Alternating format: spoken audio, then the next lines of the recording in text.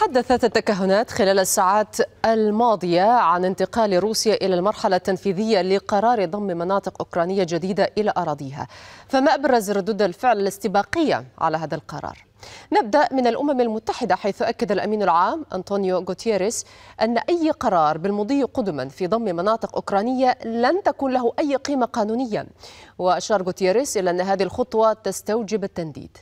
الرئيس الأمريكي جو بايدن ندد مجددا بالاستفتاءات ووصفها بأنها خادعة وتعهد بايدن بأن لا تعترف الولايات المتحدة ابدا بهذه المناطق كاراض روسية.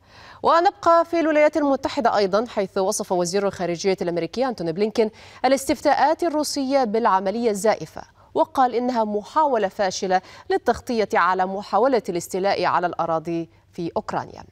الرئيس الأوكراني فلاديمير زيلينسكي من جانبه توعد برد قاس على هذه الخطوة التي قال إنها تقضي على فرص إحياء محادثات السلام مع روسيا.